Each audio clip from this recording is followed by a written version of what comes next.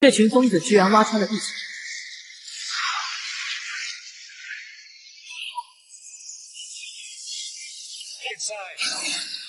下一秒，将胳膊搭在车窗上的他，瞬间就被阳光烤熟。他惊恐地朝车窗外看去，发现天空破了一个大洞，强烈的阳光从洞里倾泻出来，海水也开始变得沸腾。吓得男人赶紧关闭车窗，想要赶快逃离这个地方。不料轮胎居然被太阳晒化。就在他目瞪口呆的时候，太阳光造成的热流冲到了桥边。这一刻，两米粗的钢筋火花四溅，整座桥顷刻间全部崩塌，上面的汽车被掀翻进海里。有些汽车在高温的作用下，还没掉进海里就发生了爆炸，大桥上的民众无一幸免。然而，这还仅仅只是个开始。当那群疯子继续在地心活动时，更恐怖的灾难发生了。